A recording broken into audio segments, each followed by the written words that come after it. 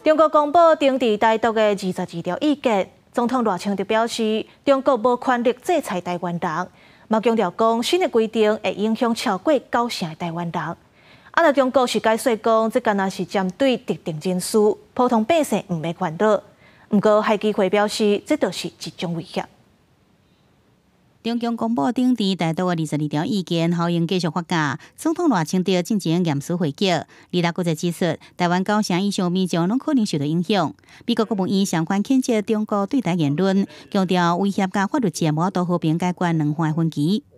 We strongly condemn the escalatory and destabilizing uh, language and actions from PRC officials. We continue to urge restraint. 总统府伫社群平台发文感谢美方的支持，然后又国际谴责中国加国内法律武器化行为，因为根据大多二十二条，涉犯分裂国家罪，相当应判死刑。引来各界关切，中方是毋是可能经由他国引导机制，甲美国移送到中国？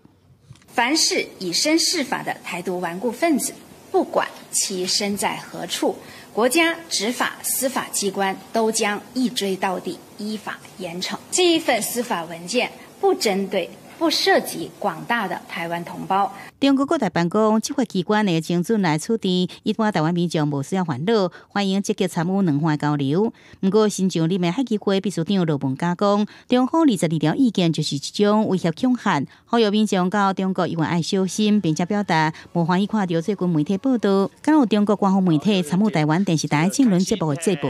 在海基会立场是我们鼓励交流，但我们希望是在符合交流的目的。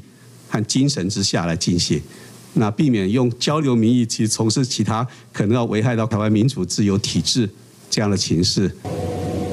天海神队二三国在地花树海域发现一只钓过三母鱼船活盖掠鱼，并且夺走国际检查海神人员入到了后定准检查，加一百公斤的鱼啊，鱼伫海中，加人甲船到底阿登啊依法采花，做进一步调查。记者综合报道。